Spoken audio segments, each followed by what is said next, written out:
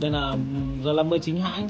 Đây nó sẽ có một cái um, nó sẽ có một cái hướng dẫn một cái um, khóa học chụp ảnh miễn phí nhé đấy scan cái QR này sẽ được học này. À, những cái dòng giờ 50 này thì nó sẽ có tiếng Việt đầy đủ cho em luôn nhá. Và đây nó sẽ có một cái phần uh, kích hoạt điện tử cái phần QR quét mã để kích hoạt điện tử. Và bây giờ bên trong khui em đây chỉ là mấy cái hướng sử dụng thôi. Bên trong thì sẽ có một, uh, một cái đóc sạc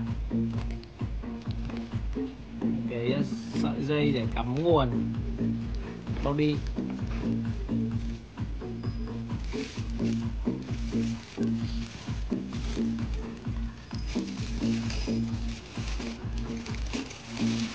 Thực ra thì bây giờ anh thích mọi người ôm móc cái con R50 này hơn là thay vì mua M50 đó. Máy thì ờ, uh, nhỏ gọn xinh xắn và tiếp tục em. Bên trong còn một con lên kit nữa. Lên kit này.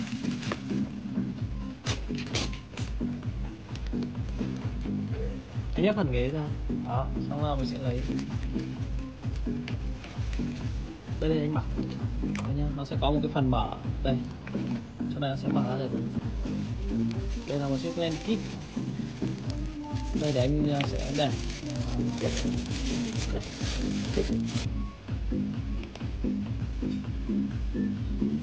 vẫn được chiều đồng hồ đúng rồi chính xác.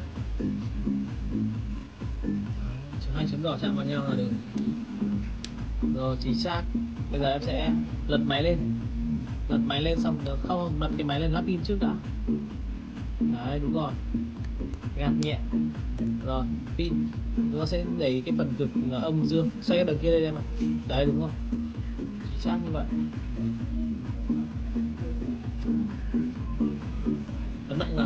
Rồi. Cạch một cái là ok. Mình gạt gạt cái nút kia lên. Đấy chính xác rồi. Tiếng tiếng việt lần này giờ hôm nay là mùng hai. Hai mùng hai mùng một chạm đến nữa? Xoay xoay cái gì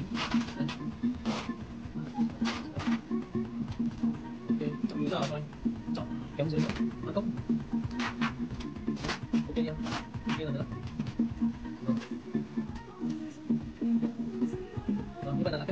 là